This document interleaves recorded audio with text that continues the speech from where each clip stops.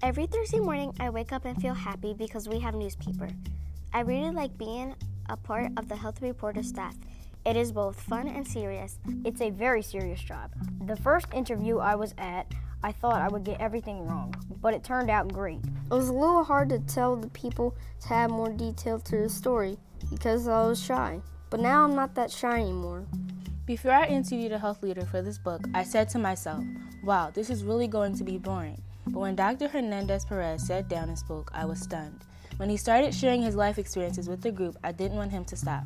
I learned a lot of things like adding details, the big idea, the introductory sentence, and how to be healthy. I have learned about many things, such as direct quotes, plagiarizing, and lead sentences. I am proud of myself because when I get the newspaper delivered to my school, I feel that I am helping everyone at my school get healthier. When I write, it feels like this is where I belong.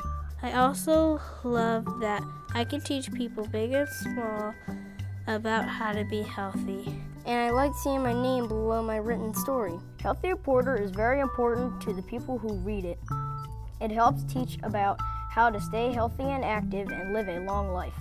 I am happy and proud to be part of the Health Reporter staff.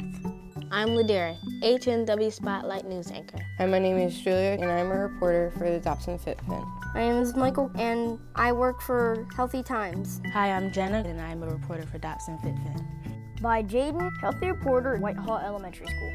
My name is Jessica, and I work for the Healthy Times News.